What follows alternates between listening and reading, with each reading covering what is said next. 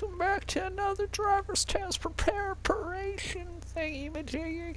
Uh, so now I'm gonna show you how to do a three-point turn. Alright, so you wanna put your left signal on, tick tock, tick tock, tick tock, check your blind spot, make sure there's no one coming, and then go in, and then your right turn signal on, tick tock, tick tock, tick tock, tick tock, and then you turn, stop, you look, put your left signal and then back up. Make sure everything's clear. Make sure there's no pedestrians or anything. And then you go. So see how easy it is, especially when you have grandpa to uh to make uh you uh prepared for this test. Anyways, I'll see you on the next one. Bye.